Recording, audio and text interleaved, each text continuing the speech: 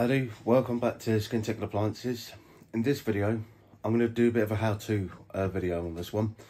Um, obviously, it is with the Samsung washing machine, um, as uh, now have no longer have the Hoover machine, as it's now been sold finally.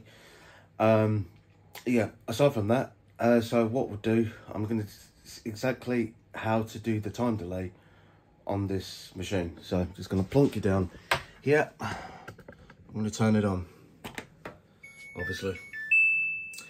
So, the way time delay usually works on other models, when you usually tap this, it should come up like with one hour, two hours, three hours, and so on, which has been in my previous machines that I've used.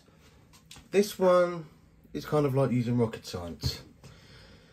The reason I say this is because you've got to include this, which is the cycle time, in your delay time. So when I tap this, it comes up four hours, not one. So what that means is you are having a total of a four hour cycle. It sounds weird of this saying it because you've got to have three hours 18 then obviously it goes up to four so making it a 42 minute delay so that's why it comes up with four not one and I'll demonstrate it on another cycle. So the, the Eco Cotton, that says 4 hours 29. And when you adjust everything on here, you've got 5 hours 1. You want to do time delay, starts at 6 hours. Again, because the 5 hours 1 is included in this 6 hours. So really, it's only a 59 minute delay. It is a bit of a stupid way of thinking about it, but obviously it does go up to 24 hours, but really you're losing out on that time. Because this because like I say if I go to let me move my arm the daily wash um that's one hour four minutes. And so then you start at two. So you've got two hours so you have a 56 like you have a one hour 56 no hang on. Yes you've got yes so you have a 56 minute delay so then obviously you got to kind of count. So you got if you want to start it in eight hours, so you got one 56 minute, one hour, 56, two, three, four, five, six, seven hours 56. So yeah, let's say you want to start at five o'clock or maybe just before, you would have to put it on nine hours because you've got to take one hour four off that as well it's so complicated. And in the description i'm actually going to kind of put a more readable way of understanding it but i'm just doing a how-to video on how it actually works. It is just so much more complex with these machines.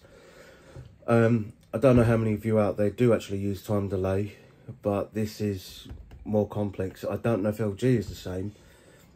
Usually they're around the same similar they have some similarities and another thing I will demonstrate, if I go back to cotton, the cotton, eco cotton, I think are the two cycles where you, it detects the load.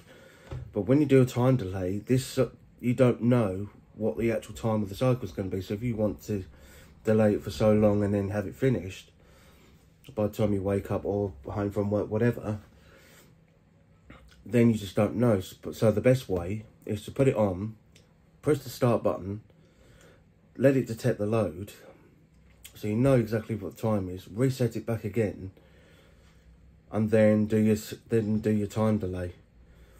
That is kind of as simple as I can put it with with this machine. It is absolutely it is a bit mind blowing when you think about it, but that is kind of my best explanation on how to use time delay on Samsung washing machines. It probably goes for the same with the newer models as well with time delay.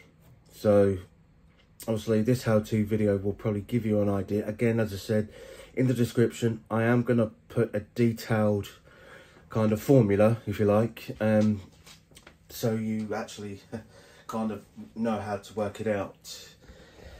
But anyways, that's it from me. So if you do like these kind of videos, give it a thumbs up. Um, don't forget to click to all tap subscribe and when you click or tap subscribe you click that notification bell and when you do that click all notifications so you get notified of all of the videos I upload and I will see all you lot in the next one.